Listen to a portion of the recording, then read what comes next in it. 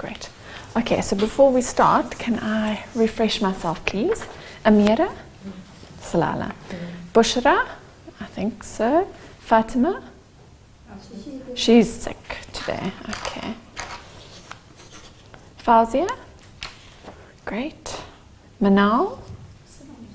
Hmm, Absent. Moza? Moza. Salwa? Yes. Sumaya? There. And Zainab?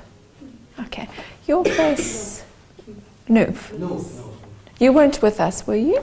No, Okay, I was going to say your face is not familiar, Neef. Okay, where are you from? Ibri.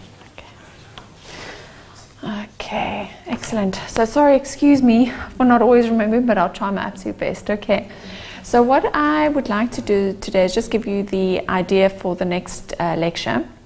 What we're going to start off with is similar to a little bit of a test, but I hate using the word test because that always scares everyone. This is extremely, extremely easy, but I want you to ask the questions to double check that we've laid the foundation because I'm going to be discussing Bayes' theorem with you. Now, Bayes' theorem and Hardy-Weinberg are slightly different. Hardy-Weinberg is when we don't have the condition in the family history, okay? Whereas Bayes' theorem is if we do have the condition in the family history. I'm not going to expect you to know the details of Bayes as it is in your textbooks, but we're going to make it very, very easy, and we're going to go through some examples of that in the next group section. Okay, so what we cover is what the expectation would be of you to do. So we use it when there is a family history of a specific disorder, but before we do that, because it's based on inheritance patterns, I'm going to quiz you a little bit about that. Okay, so please be interactive, ask questions, but I think hopefully this will be very basic. Okay. So, what do we expect? What type of inheritance are we thinking about here? And why? Okay, before what type, let's maybe tell me a bit about what is going on in the pedigree. Every generation is having the. Good. Every generation is affected. Okay, so we're thinking dominant. What else? Um, uh, both sex. Good. Males and females are affected. Fantastic. And if we look at the transmission, from a male it can go to a female or a male, or from a female to a male or a male. Okay, so we're pretty certain that this is dominant. Okay, good. Okay. Usually no skipping, but we'll talk about some phenomenons which can happen with dominant that can allow us to understand skipping of generations in dominant. Okay, so we know that the disease manifests in the heterozygous state. So if we hold up a show of hands, obviously that looks like this. Faulty gene, working gene, this individual will be affected. Heterozygous state. Okay? We also know that with dominant conditions specifically, it can be, a number of cases can be de novo in origin, that there may not always be a family history of that specific condition. So conditions like neurofibromatosis have a very high de novo rate. 50% of cases can be de novo, where we might not see that typical uh, pedigree that we've seen earlier. Okay, so that's something to keep in mind when we're analyzing pedigrees and suspecting certain types of inheritance. You need to know about these facts associated with dominant pedigrees. Uh, penetrance and variability is something I want to double check you understand.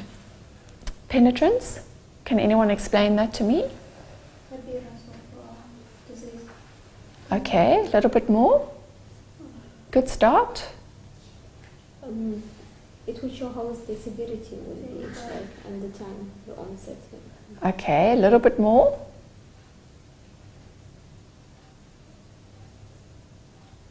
Okay, so let's use an example of breast cancer, okay, because we're in our cancer block.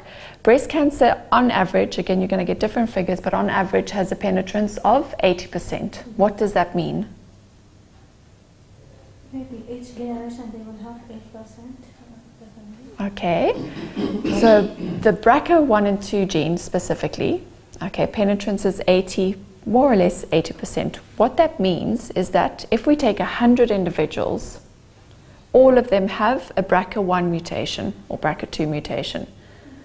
80 out of those 100 will develop the disease, but 20, even though they have the underlying mutation, won't develop the disease. So penetrance is the number of individuals with the mutation that will develop disease. What you were highlighting was more related to variable expression. Okay. Now variable expression is something and penetrance is something that is commonly seen in dominant disorders and where we may actually see skipping of generations or what appears to be skipping of generations because of penetrance, which is not all individuals with a mutation will develop the condition, or variable expression, the condition may be less severely affecting one individual than another individual with the exact same mutation, or the age of onset may be different. Okay. Or it can be so mild that you might not even recognize it clinically. So to know about penetrance and variable expression will help you get a sense of the dominant inheritance. Okay, so you may not always see that first pedigree because of variable expression or penetrance or de novo mutations. Okay, so it may not always be as straightforward as that. Okay, don't worry too much about um, the information at the protein level. Okay, so very, very easy. Let's use this information for risk calculation. We have our father who is affected with Huntington's disease, one of the well-known dominant disorders, and we want to know the risk for his daughter and we want to know the risk for his son. Can you tell me what the risk would be for his daughter?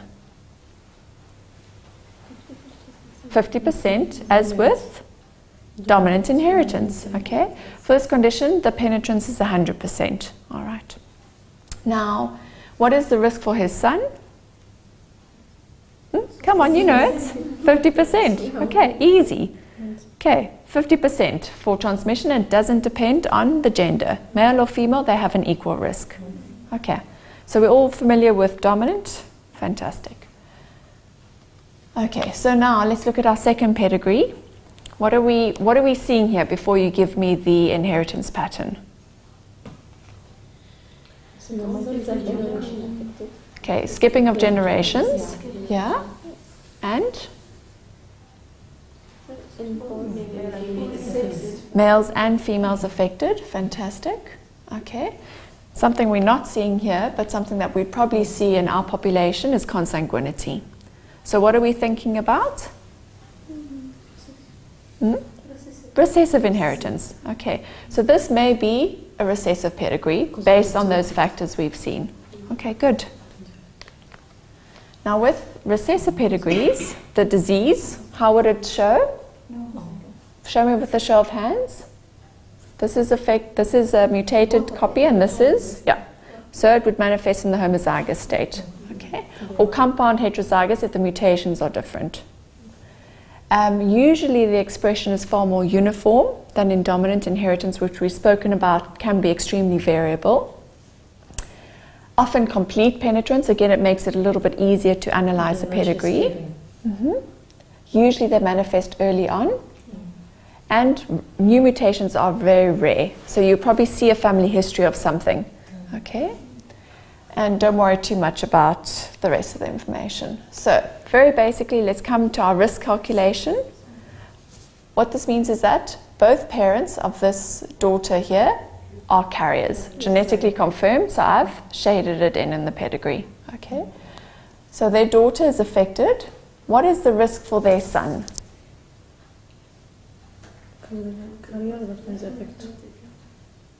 Mm-hmm. So, what is the risk generally for recessive inheritance? 25%. And if that was another girl, she will be. Um, uh, what is her risk? 50. So, we've said here 25% risk. If they had another girl, what's her risk? 25%. Okay, 25%. All right. Good. And that's a very important thing to explain to your patients is that with each pregnancy, it doesn't matter if they've had one affected, the next three are not going to be unaffected. Each pregnancy has that 25% risk.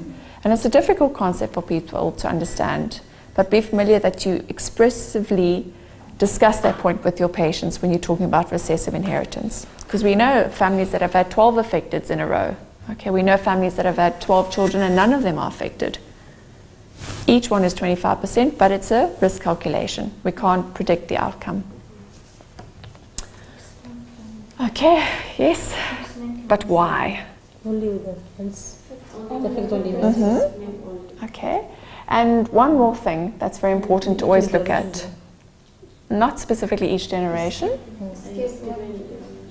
Mm-mm. What's so important about this individual here and his sons? Don't it. hmm Okay? So, an affected male will never have an affected Boy. Okay? And all his daughters will be? Carrier. Mhm. Okay. Good. Okay. I think we've covered that. Okay, so let's look at our pedigree. What is the chances? Now, we've got a mom who's a known carrier. Okay, she's actually obligate.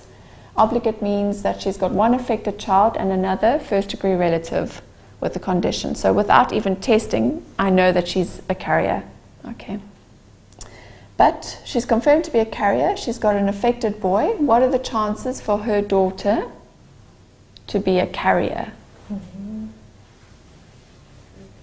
Okay, what are the chances for her daughter to be affected?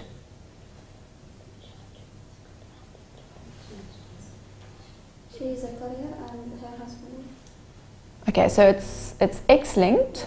So we're not too worried about the husband unless they're consanguineous, and then we need to make sure that the husband's not affected. Excellent recessive, it will be So if it's X-linked recessive, we expect only males to manifest, right? Generally speaking, there are exceptions to the rule. The only the to affect the males, not females. Yes. Yes, exactly. Now, but what are the chances for that daughter to be a carrier?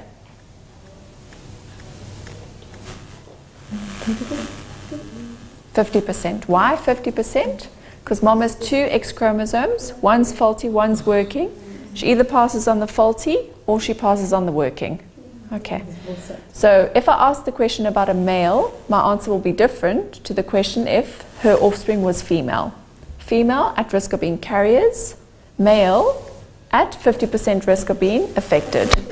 Okay. So when we do our risk calculations, I want you to keep these concepts in mind because we can't calculate the risk if we don't know this information. Okay. Okay, this we're not going to base our risk calculation on, but just to create awareness about mitochondrial inheritance. Uh, we don't see it too often, but we do encounter it, so we need to be familiar with it. And sometimes it's difficult to get it confused because it may look like it could be dominant or recessive or other forms of inheritance as well. So it often comes down to exclusion. But the important thing to remember is that with um, uh, mitochondrial inheritance is that all the, it's maternal transmission only, okay? That all the children have a risk of being affected. And due to homoplasmy and heteroplasmy, they may be less or more severely affected.